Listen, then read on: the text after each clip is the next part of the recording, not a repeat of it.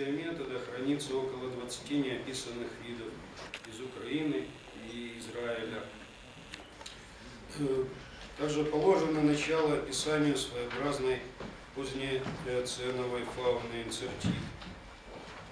Э, По моим самым осторожным оценкам, в Украине предполагается наличие более 500 видов инцертит. По предположениям некоторых авторов, в настоящее время в мировой фауне может существовать полмиллиона видов хальцит. Трудно переоценить их роль в регуляции численности видов из многих групп членистоногих. Их изучение приближает нас к пониманию механизмов и принципов существования огромной саморегулирующейся си- системы нашей планеты. Спасибо за внимание. Спасибо. Так, шановні колеги, у кого є питання? Прошу, Ігор Юрійович. Так, Вот у меня такой вопрос относительно вымерших инсертит. Вы говорили о том, что там, в принципе, большой диапазон изменчивости, но какая-то жилка характерна для эоценовых э, видов и не характерна для современных. Я правильно понял? Что это за жилка? Да, она редка, сейчас я покажу.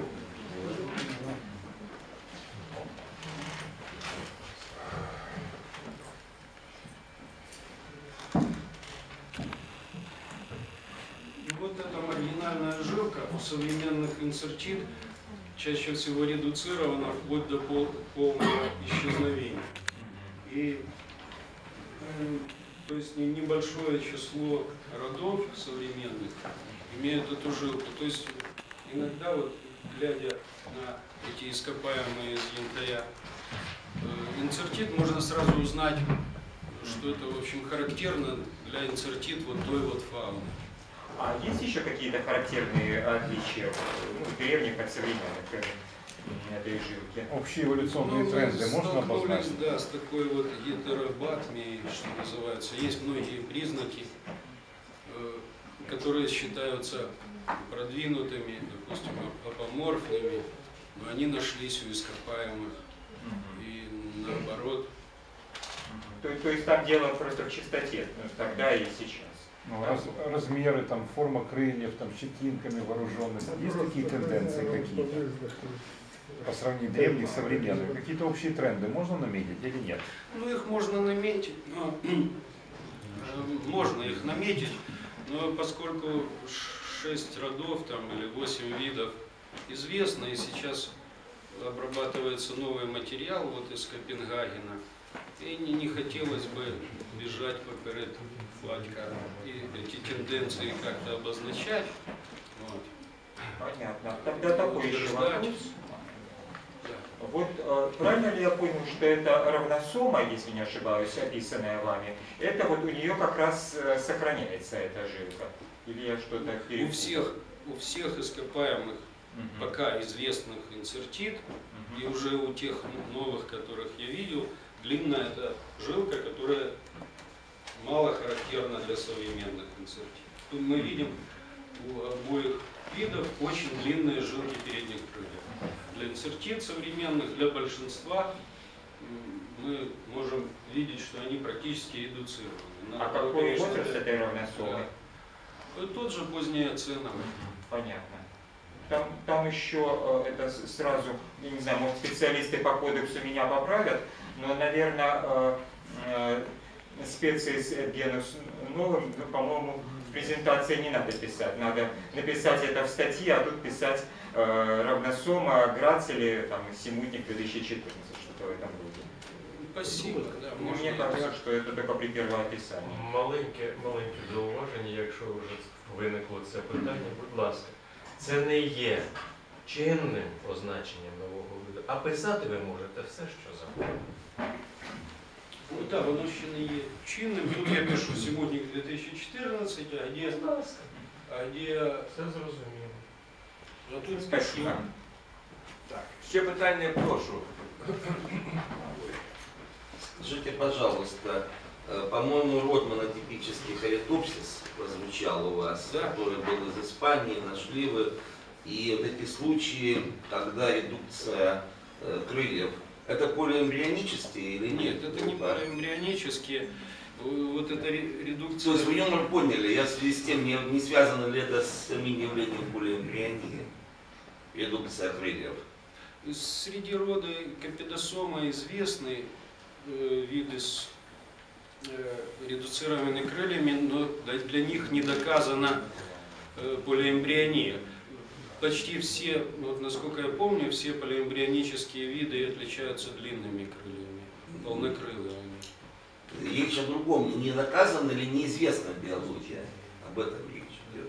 Изучена ли их биология на предмет Да. возможности полиэмбрионии. А, там невозможно. Поли- Полиэмбриония неизвестна среди паразитов как цит. Полиэмбриония из- известна у паразитов бабочек и вот, э, вот этих вот гелеус и трипоксилон. Ну а сама биология пока просто Про- про- неизвестна, правильно? чья? Это только биология именно развития Э, э, Чья? Харитопсис? хайтопсиса. Известно, это па- паразиты мучнистых червецов. Я не о том, как, чьи они паразиты, а в отношении эмбрионального развития.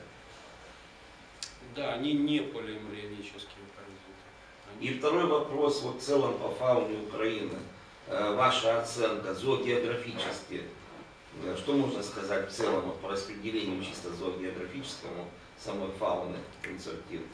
Ваша именно группа. Среди инцертит неизвестны эндемики какие-то узкие.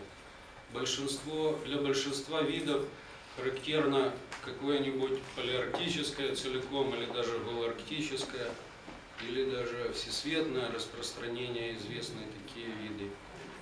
Хотя, конечно, фауны отличаются азиатская, допустим, и европейская, они И среди галактиков сколько есть завезенных из э, нового света? Явно завезенных в связи с какой-нибудь точное число я не скажу, это десятки. Это десятки видов. Некоторые из них успешно завезены, э, допустим, известный случай из Средней Азии в Америку.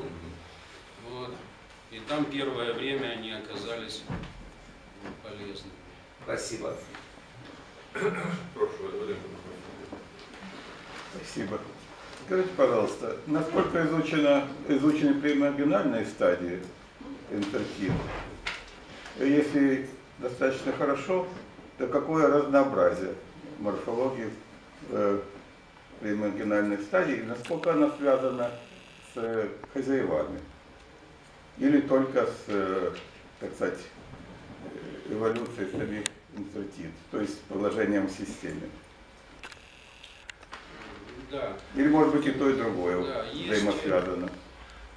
Большая часть видов инцертит, которая использовалась в биометоде, у них хорошо изучена биология, но для огромного большинства э, детали биологии неизвестны. Известно, допустим, чем они, чьи они паразиты, но э, не описаны личинки, описания личинок практически нет. И вот эти вот детали биологии, это ну, минимальные данные по, по этому вопросу существуют. Это очень, конечно, мелкие насекомые, трудно изучать. Э, И если разводятся какие-то виды там, для биометода, тогда они изучались.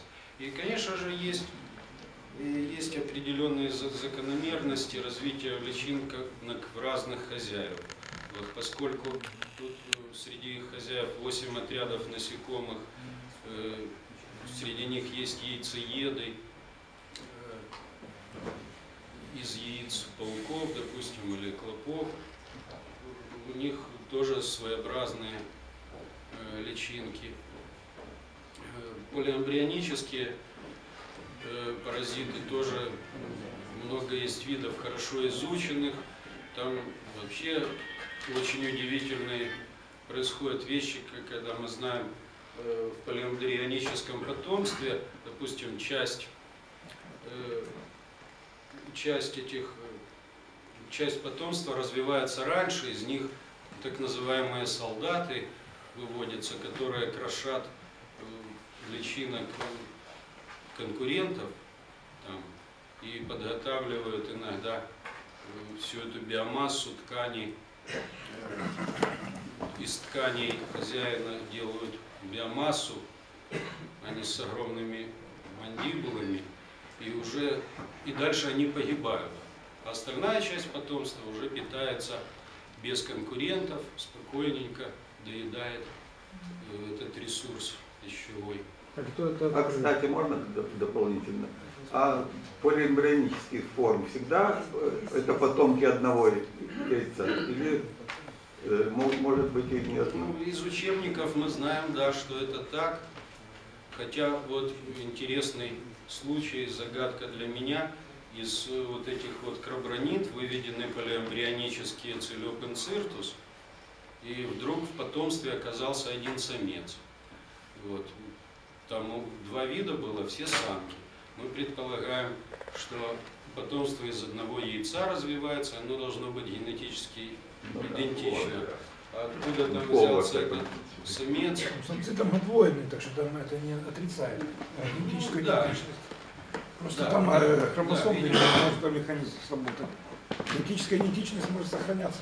Гаплодиплоидный момент.